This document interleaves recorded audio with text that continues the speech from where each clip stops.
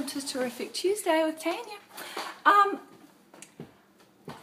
you know, I start out squatting and somehow it breaks into a a grind dance. I, that's the problem with music, you see. But um,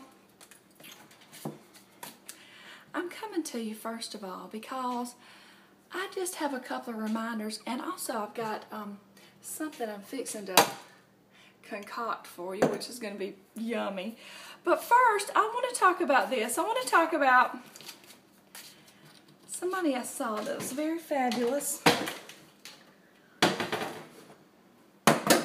Sorry, I'm unorganized. I know you're shocked. Um, let's see. She is Danielle. Hey Danielle, she is the raw trucker lady on YouTube. This lady rocks. Now let me see if I wrote down her. Here she is. The raw trucker lady on YouTube. I love her. She's very fabulous, and here's why. I um I was on the YouTube and um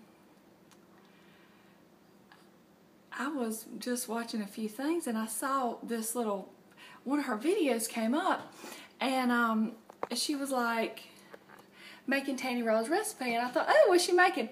And this lady is in her semi truck making low fat raw vegan. Friends, we have no excuses, okay? Because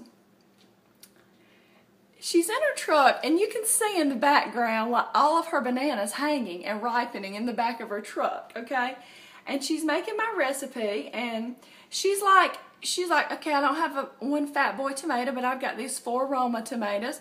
Okay i didn't have an onion. Tanny used that today but i'm going to use these dehydrated onion flakes. And you know she's improvising though keeping with her her plan. And um she's showing about, you know, sometimes her backup plan is like Subway, and because they've got a vegan like red pepper hummus, and she's saying how some places have it and some don't, and um, plus she's giving some trucking tips, like you know, if you're driving, you know that we can't, if you can't see us, we can't see you, and and this, which is really cute, and she's um, I don't know.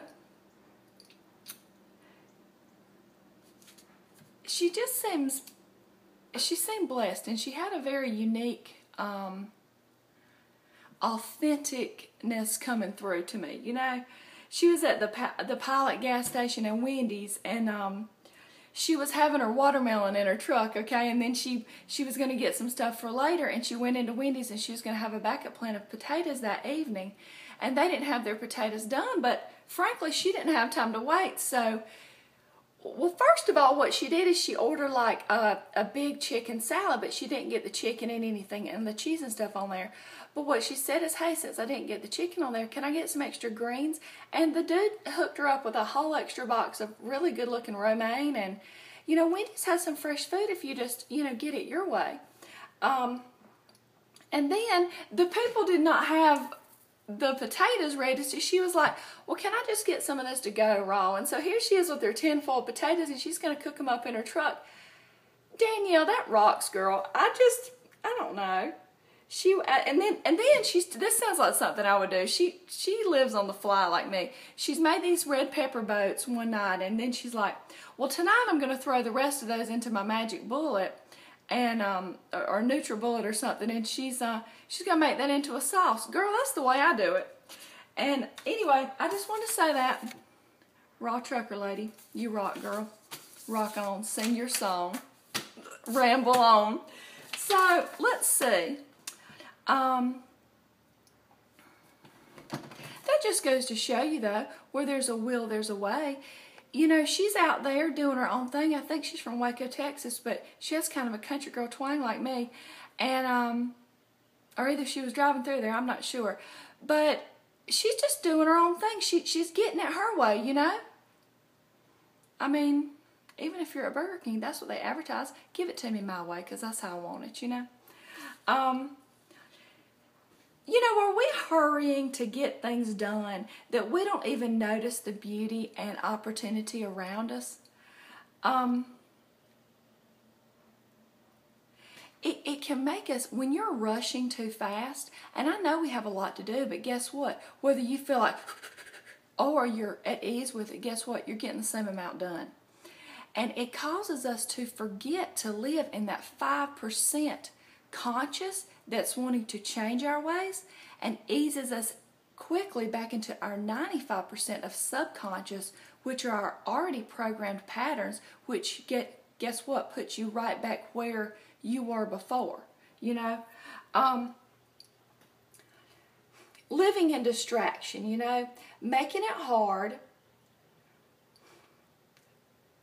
to stick to our new habits. You know, distractions will do that. It's just like being too busy. Um,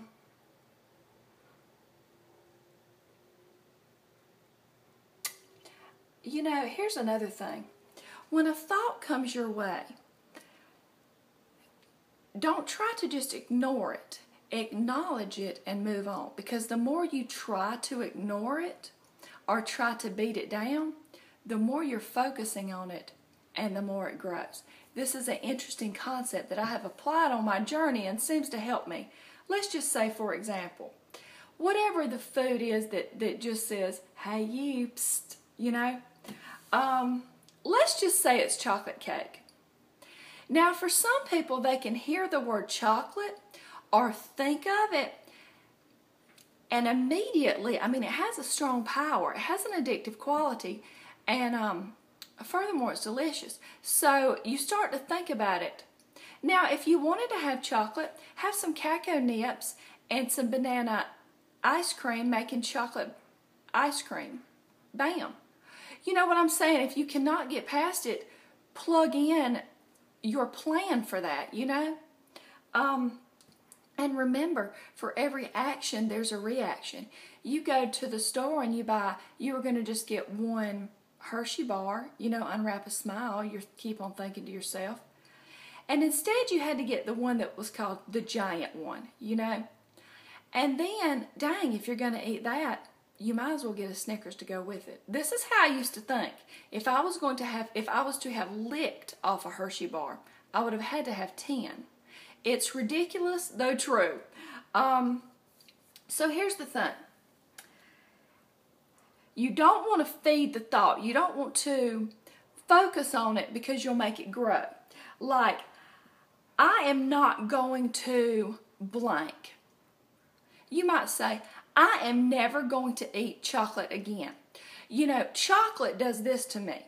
When I eat chocolate, I, I, I don't even like chocolate.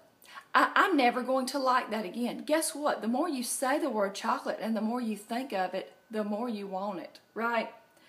So instead, what you want to do is just think, okay, chocolate. Move on and plug in your positive affirmations. Okay, like, I love how I feel oh, on low fat raw vegan, low fat high carb, more raw everyday vegan. I love how I feel satisfied when I have cacao ice cream. I love how I feel energetic, satisfied, and good about myself when I have an ice cream. I love how, you see what I mean? It's two different things. Um, so focus on what what you want to receive. Don't even say like, um, I want to really like healthy food. I want to have a healthy body. Because then what you're putting out is you just want that. It's sort of a, a pipe dream, a wish. Instead, I have a healthy body. I have a healthy mind. I feel good about myself. I love myself where I am today because this is my journey. You see what I'm saying? Um,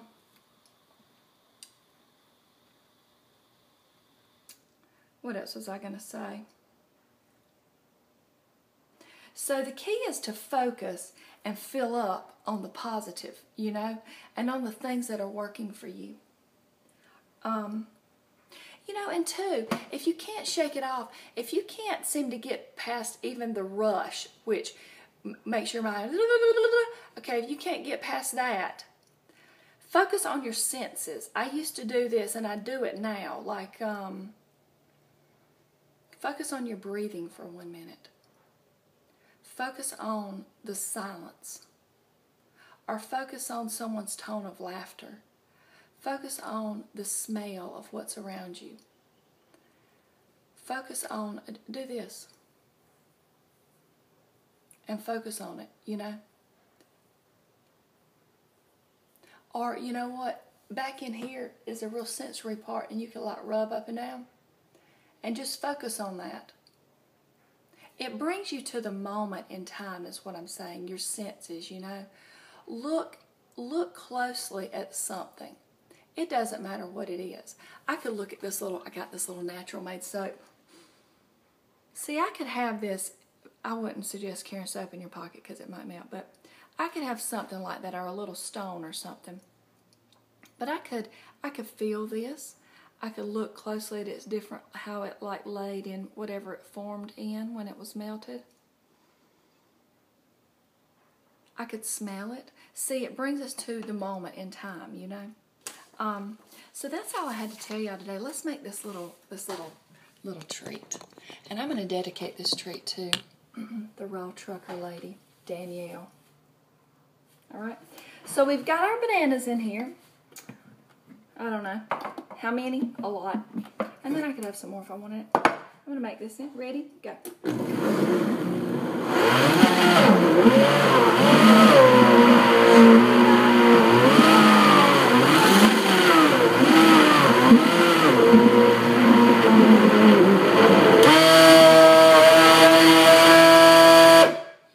I've noticed if you only um, freeze the bananas overnight, you get more of a soft serve. If you've had them frozen for, I don't know, a week or two, you get more like a hard serve ice cream. This container's, I'm going to have to get some more of these, but I'll just give y'all the concept. It looks like it's going to rain today. That won't dim my sunshine, you know. Okay, so there we have it. I'm going to sprinkle a little cinnamon. I'm just using this dry because that's what I have. You know, if you add cinnamon, especially add it in while it's blended, I forgot to do that, but if you do that, cinnamon really balances the blood sugar and will give you even a little longer sustainability. Um, and furthermore, yesterday my mommy loves to say, well, you know, fruit makes you hungry. Yes, you will be hungry 30 minutes later if you had one orange or one bite of toast. You know, kick up the calories. So then we've got, what I did is I took my mulberries and I've kind of just mashed them around in here, creating like a little sauce, you know. And then I'm going to swirl that around so I can just be really cute about it. And then I have these other little mulberries. And then I like to eat with my wooden spoon because I'm just weird like that. Look at that. Oh yeah, look at it. Oh, very rific. And I can't let you go before you see these um, $3 shorts I got yesterday. You know, I'm like the 42-year-old Punky Brewster. I just kind of think everything goes together. You know how you can wear everything together anytime? All you gotta do is think it's cute, and then everybody else thinks it's cute too. uh, or if they don't, they just don't want to hurt your feelings, and they just don't say anything, right? Look at them.